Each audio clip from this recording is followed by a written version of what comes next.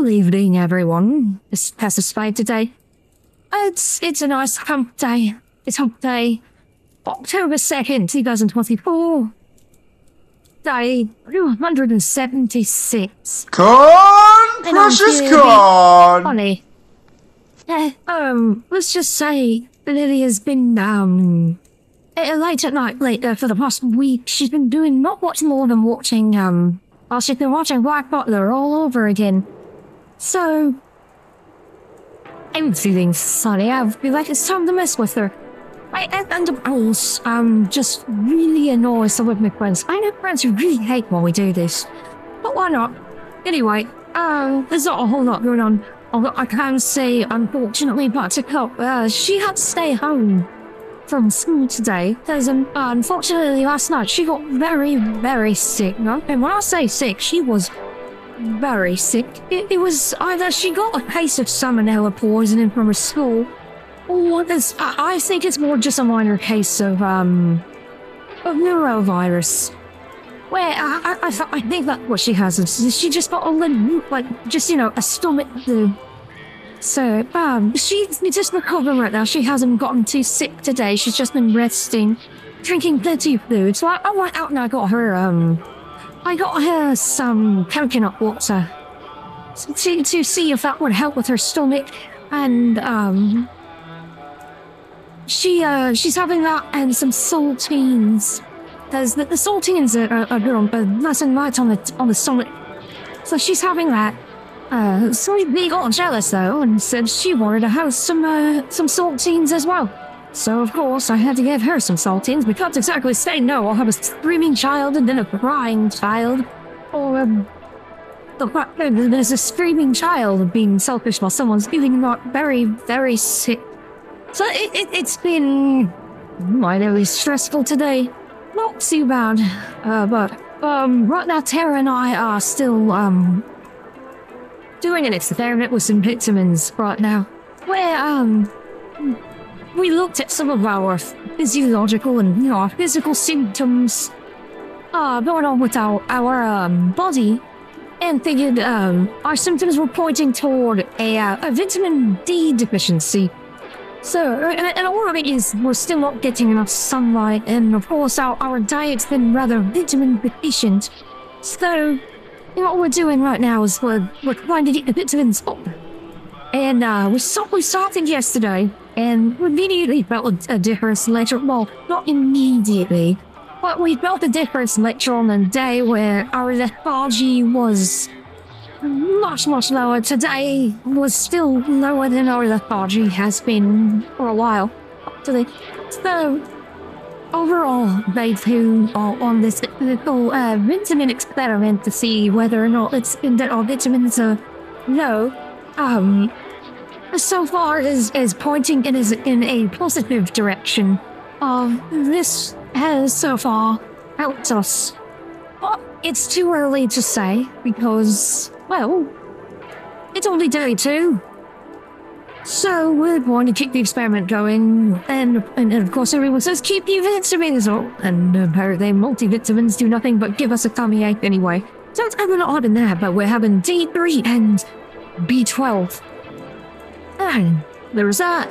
And then I know tonight is gonna be, it's just gonna be not a, another simple meal for everyone, because uh, Butter, Buttercup, she's, she's not ready to have any like full-on like meals right now. It's there's so much not up for it. So she's going to be having lots of coconut water and water, and she's going to have the saltine crackers because well, that's what she wanted. And for myself, Lilia and Sweet Pea, we're probably just going to have leftovers, but I don't want the leftovers. They they, they are tacos. As uh, Tara made Tara made um, Taco Bell style chalupas last night. But of course, you, you used the Greek yogurt instead of the sour cream. It's really unfortunate that we forgot to get the dark tomatoes and green chilies. We forgot to get those, so we didn't get to have those. Oh well, can't complain too hard, right? Anyway, there isn't much else to talk about. I'm just trying to get through the day and make sure Buttercup will be well enough to either go back to school either tomorrow or Friday. Unfortunately, though, she if she only goes back on Friday, that means she only has a half day on Friday because the doctor's appointment's coming up. When they've got doctor's appointments next week, so we'll have to figure that one out. It's not too complicating, but you know, what what what. what th- this is how it goes. Just living, living, and oh well. Children get sick and what, what we did get is that our school did send a lot of students home uh, last week. I don't know about yesterday. I have to inquire with the school, like maybe tomorrow. That I know on Friday last week there were a lot of students who were sent home um, with norovirus uh, symptoms. So, I'd, say there's a good likelihood she had it too. And I don't know if she got it from the school or, her, or uh, her friend's house over by her uh, grandparents. Because uh, she went and played with them yesterday before coming home. And then it was, um, she started feeling sick once they got in the car to come home. And that's when she got really sick, and then she got really, really sick. It was, it was bad. It like, she didn't get to have a night rest until about zero four in the morning. So it was a very, very long night. I, I feel very bad for her. And of course, as soon as I sh- uh, well, let's let's know topics very quickly. When I tried to when I started setting up the DVR because I am late at the time of recording, it's six nineteen p.m. So I apologize. It's uh, you know it's eighteen hundred hours. It's my fault that I'm so late. But you do? Uh, of course, as soon as I was setting up that cat that keeps getting into our house, started meowing at this door. You're not allowed in this in this bedroom. We are allergic to you, so we try to get the danger out of this bedroom. So we're around it as little as feasibly possible.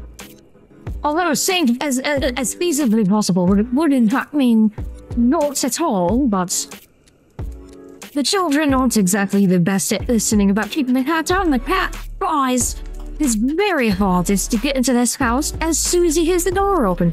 I've seen him trying to get into the neighbor's house. He tried to get into there, and as soon as he saw us coming to our front door, he immediately charged full speed off of there, jumped the fence, came to our front door, and dodged inside. So that cat is very determined to be in everyone's home everyone's. Well, not everyone's, but I've seen it in five houses. Five. And the one you have to go to the most isn't even his house, it's ours. Our home. He just lounges about and waits. He'll even wait on other people's yards. He'll, he'll wait on other people's yards for us to come home. Or to even open our doors, like say if we're checking the mail or something, and then he'll just charge as fast as he can to get into our home. And sometimes he's successful. At least he doesn't obstruct me when I'm trying to get him out of the house. He doesn't do that to me. But he about spread uh, both Buttercup and sleepy when trying to deal with him. So there is that, but you know, cats are more willing to do that to children than adults. So I don't. Maybe because they're smaller. I don't know.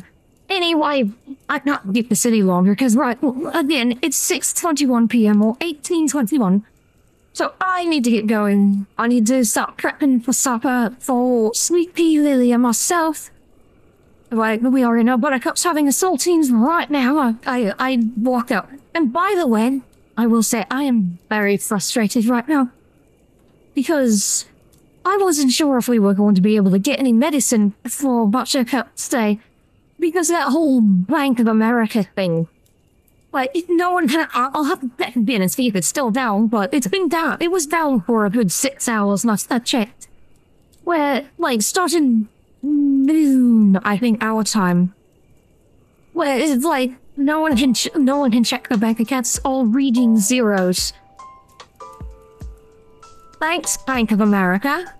You've got a problem today, and I'm not thrilled about it at all. Please do better. Uh, we'd, we'd very much appreciate it.